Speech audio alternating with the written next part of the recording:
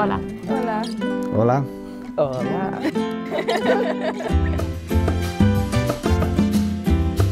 By 2014, uh, the government uh, encouraged the increase of uh, renewable energy in the electric matrix of our country.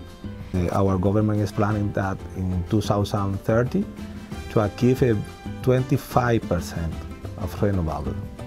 Yes. I think it's almost 4% now. Yeah. It's, it's quite small. One of the renewable energy that we have to develop is, is solar generation. Uh, it's difficult to forecast the weather because it's, we are uh, it's an island.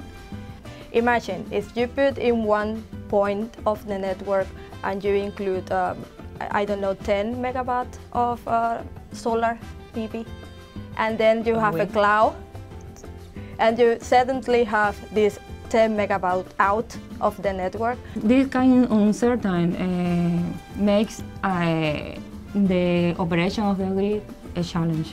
The stability of the system is really hard to manage this kind of uh, situation.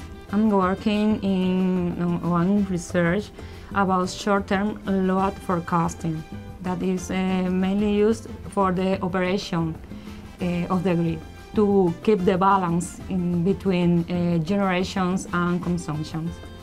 Uh, the biggest problem is that when we design the distribution network, they weren't prepared for have new resources like the one that we are including now. I took two, two, biome, two kind of materials, and one of them is the uh, sugar cane bagasse. In the production of sugar, uh, the sugar cane bagasse can be used like a source of energy to make a, a gas with the condition to be used in biofuel production. You can make a, like a recipe, no? When you are cooking, and depends of that, you can make a, a different uh, composition in the gas. Of these 25, that is in renewable energy planning, 14 is uh, mainly for biomass.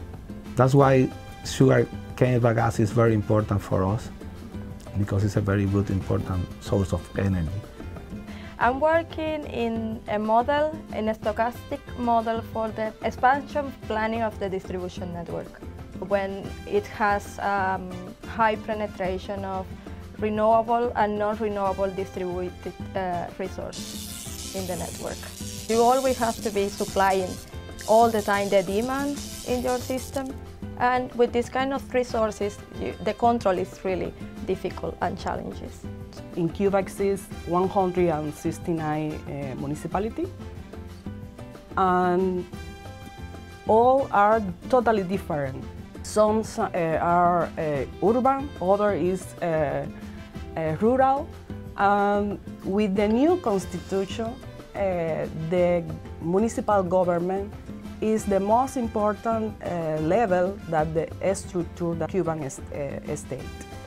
The municipality needs management better the, the energy and produce more energy and contribute to the distribution uh, generation in the country. Uh, the principal idea that my research is uh, develop one system that join the energy planning with the energy management.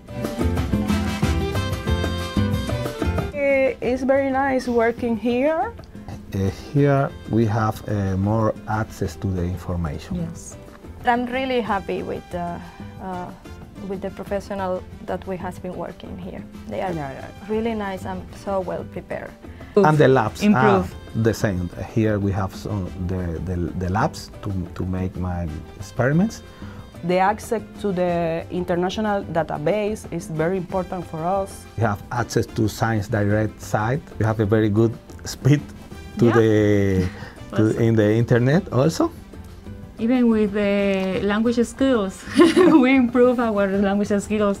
Your Finnish language is Very. really, really hard to learn. and trying to learn Mapuhun Bahan Suomea. Moi, kiitos. Tervetuloa, Kuitti. Thank you a lot. Yes, the same for me. Yeah. Thank you very much. Okay.